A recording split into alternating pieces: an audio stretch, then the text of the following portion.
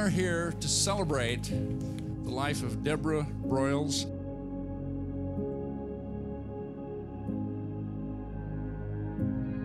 I have been recruited from a cast of thousands to assist today. I pastor the Sonoma Valley Community Church right here in Sonoma. I just would like to uh, begin with a brief opening prayer. Heavenly Father, thank you for this day. And while we grieve at the loss of a very special and loved friend, we thank you for her life and the influence that she has had on so many, many people, the difference she has made.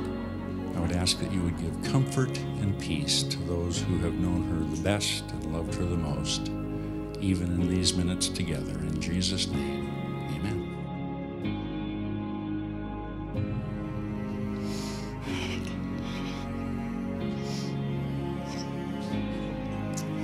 Um, I hope I can do this. My name is Lou Curlop, and uh, Deb and I were best friends um, through our early childhood days. We were like two peas in a pod.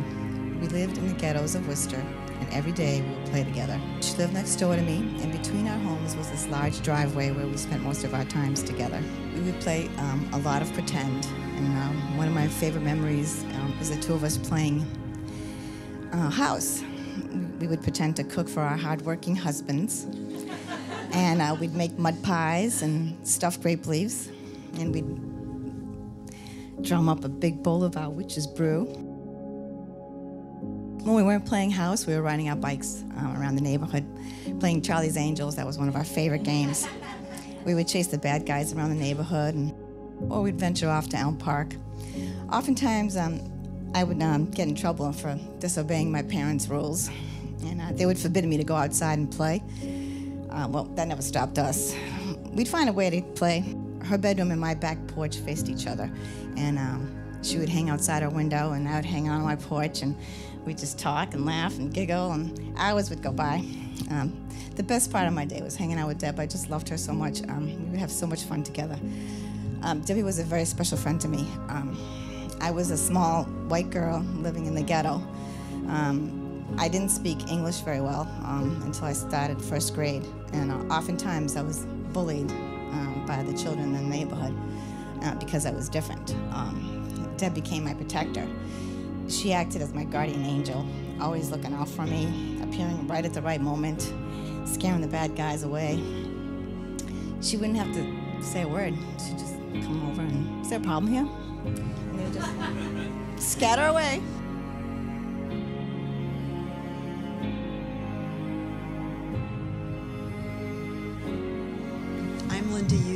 Had the privilege and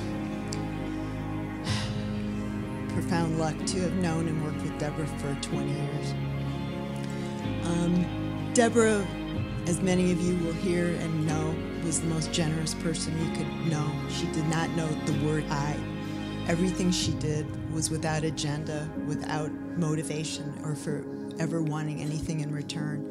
You know, one of the things that I found out when we were talking um, a couple months ago was that she had a blood type O, and I know I'm violating probably HIPAA violations by disclosing that here today, but I started laughing. I said, Oh my God, that makes so much sense because for those of you who may not know, blood type O means you can donate to anybody, but you can't receive necessarily from anybody but a small select group of people. And that was Deborah. She didn't expect anything in return, and she got her biggest joy from donating to everybody. I know this sounds like kind of a weird example to give, but it was just so profound, and we were both laughing over it. And she said, Yeah, you know, you're right you're right. And I feel badly that she couldn't get what she deserved back from everybody. But I'm also profoundly thankful to everybody here who did give back to her and were able to do it while she was alive because she appreciated that so much. And I think it gave her so much peace and comfort while she was battling this horrible illness.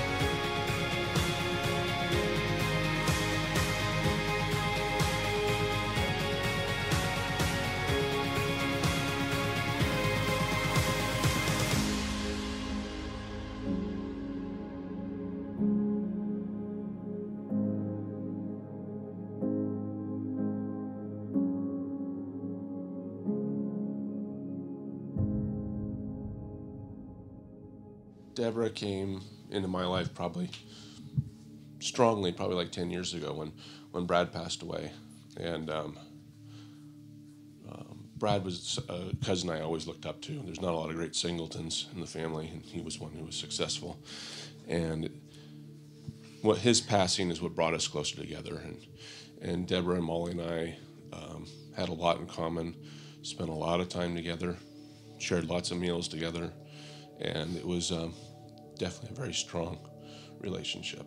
Um, like everyone says, she was generous to a fault. She, she, um, when the World Series came up and Molly was sick, she made sure that we got tickets to the World Series.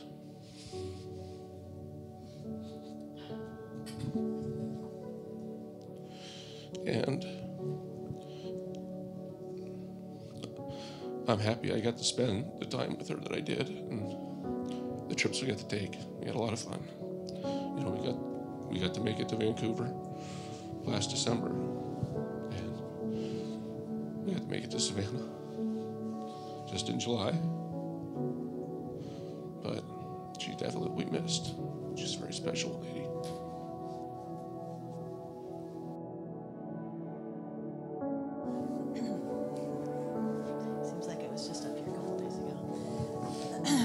As, um, as many of you know, I um, was really reluctant about having this service here in her home because I felt like just those holes in our hearts would feel that much deeper. The pain would cut that much sharper. To be here, we would all be looking for her. I was going to host this at my house in Oakland until a very wise and smart Melina reminded me that, you know, Sonoma was her home. So we have to do it here.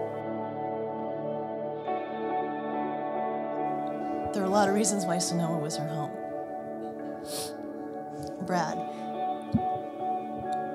your husband Brad, he was the love of her life, and she was the love of his. The love that they showed each other was so genuine, so sincere. They really, truly respected each other, admired everything about each other. They were so different, but they really supported each other and, loved everything that, that the others stood for. they were so excited when they bought this home.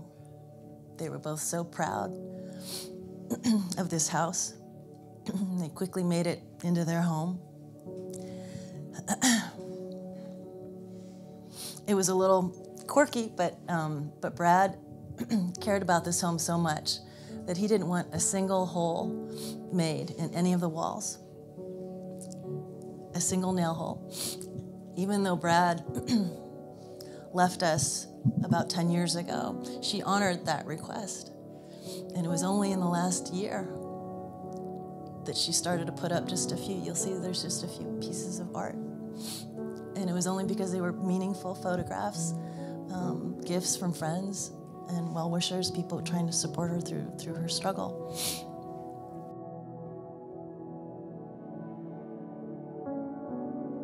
So, particularly after going, attending the service yesterday, hearing so many people say so many wonderful things about her, and thinking about today, I was trying to think, how could I describe her to a stranger? And I thought, you know, she's kind of like, she's kind of like a magnifier. Hear me out. Because really, whatever, whatever emotion you're feeling, whatever experience you were going through, struggle, hardship, worry, if you brought that to Deborah, she would feel it so much stronger.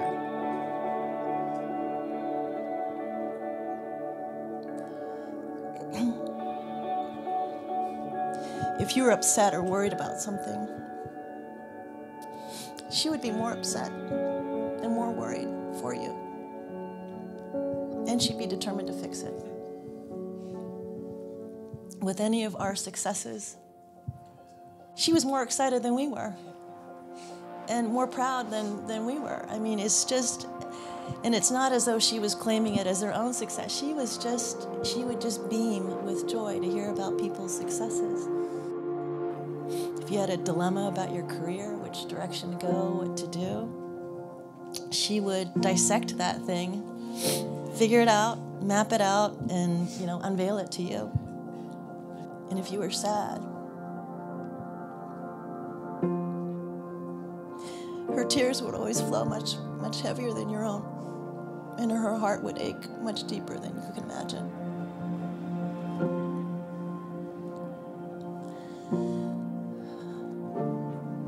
It was as if she wanted to and she truly, truly believed that she could take on everyone's frustrations, fear, joy, sadness, what have you, and just take care of it, magnify was really, really a remarkable thing.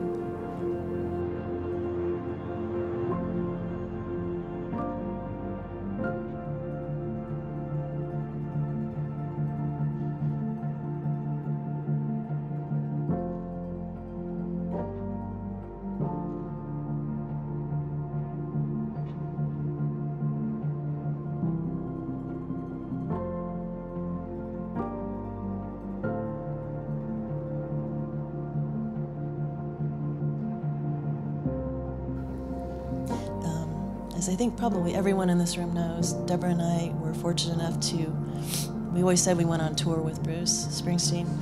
Um, so we went to several concerts. So we were both Bruce Springsteen fans.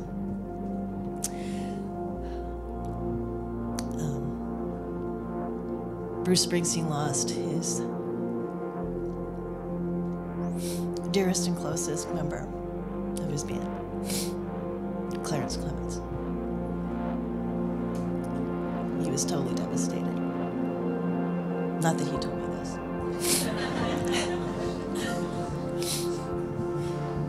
he gave a beautiful eulogy, not that I was there. Um, but I did find pieces of it, and I, am going to borrow from it again. Just um, in closing, I'll just say uh, I'll, I'll quote Bruce Springsteen talking of his dear friend Clarence. I believe that we must have stood together in other times, in older times, along other rivers, in other cities, in other fields. So I won't say goodbye. I'll simply say, see you in the next life, further on up the road.